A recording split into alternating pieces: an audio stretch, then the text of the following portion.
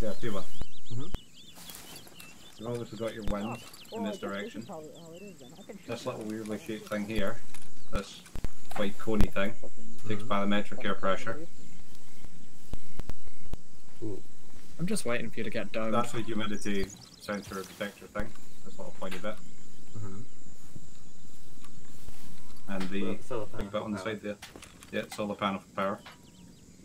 And you've got a transmitter built into that. Mm-hmm.